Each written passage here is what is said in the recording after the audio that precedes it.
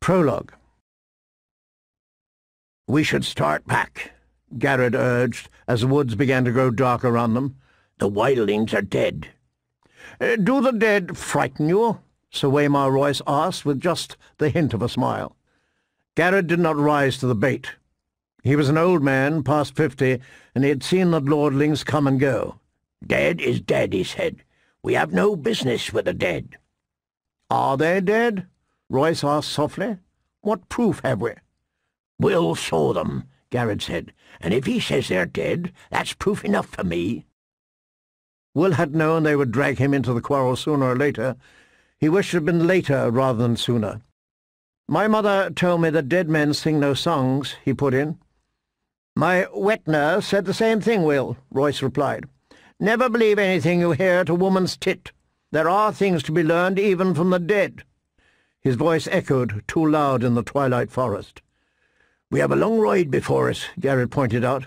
Eight days, maybe nine, and night is falling.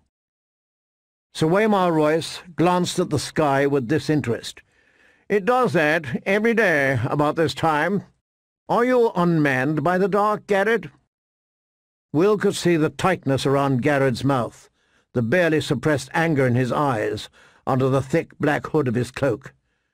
Gared had spent forty years in the Night's Watch, man and boy, and he was not accustomed to being made light of.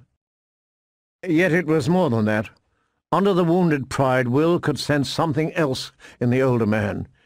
You could taste it, a nervous tension that came perilous close to fear. Will shared his unease. He had been four years on the wall. The first time he had been sent beyond, all the old stories had come rushing back, and his bowels had turned to water. He had laughed about it afterwards. He was a veteran of a hundred rangings by now, and the endless dark wilderness that the southron call the Haunted Forest had no more terrors for him. Until tonight. Something was different tonight. There was an edge to this darkness that made his hackles rise. Nine days they had been riding, north and northwest, and then north again, farther and farther from the wall, hard on the track of a band of wildling raiders. Each day had been worse than the day that had come before. Today was the worst of all. A cold wind was blowing out of the north, and it made the trees rustle like living things. All day Will had felt as though something was watching him, something cold and implacable that loved him not. Gared had felt it too. Will wanted nothing so much as to ride hell-bent for the safety of the wall, but that was not a feeling to share with your commander, especially not a commander like this one.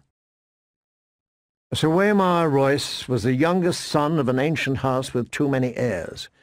He was a handsome youth of eighteen, grey-eyed and graceful and slender as a knife. Mounted on his huge black destrier, the knight towered above Will and Gared on their smaller garrons. He wore black leather boots, black woolen pants, black moleskin gloves, and a fine supple coat of gleaming black ringmail over layers of black wool and boiled leather. Sir Waymar had been a sworn brother of the